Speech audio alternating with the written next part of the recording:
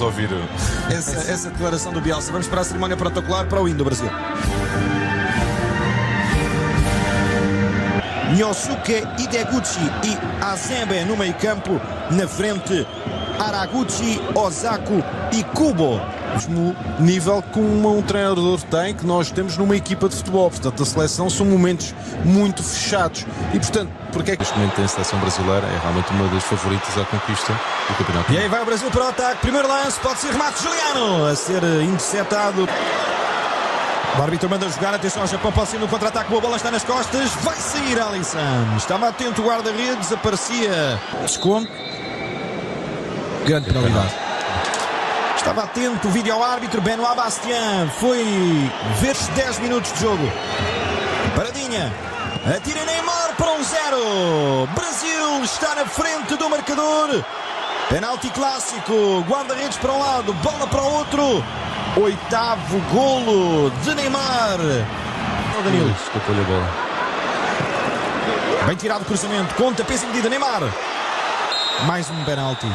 Falta pouco, vamos ver o que faz agora. Segunda grande penalidade para o Brasil, outra vez para Neymar Júnior. A tirar Neymar e defende.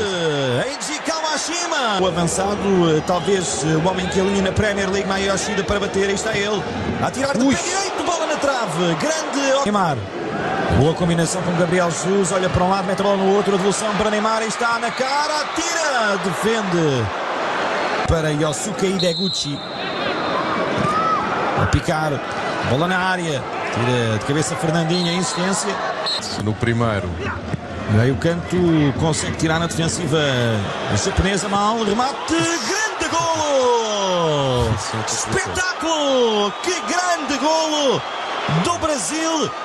É caso para dizer bomba, porque foi um remate tremendo de Marcelo. Marcelo. pé direito. Dorno para Fernandinho. Insistência do Brasil. Três jogadores na área. Danilo, cruzamento rasteiro e está mais um. Grande golo do Brasil. Gabriel Jesus a marcar o oitavo golo na décima segunda internacionalização. Com a camisola da Canarinha.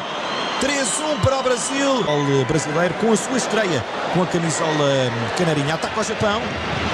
Sai este remate para a defesa precisamente de à entrada da área, pode ser aqui remate. Lançamento largo, segundo poste. Maia Yoshida no cabeceamento. Fora de jogo tirados. Lá cá. Cinco jogadores eh, na área do Brasil. eh, Do Japão. Atenção, cabeceamento e ao golo! Marca o Japão. Golo de Tomoaki Makino. Central do Urawa Reds. Bola parada.